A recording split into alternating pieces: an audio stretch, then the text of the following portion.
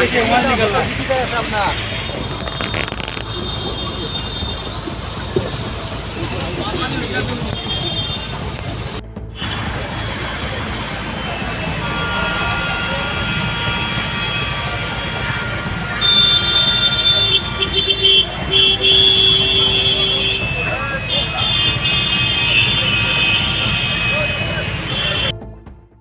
Do not forget to like, share and subscribe to the Assam Tribune.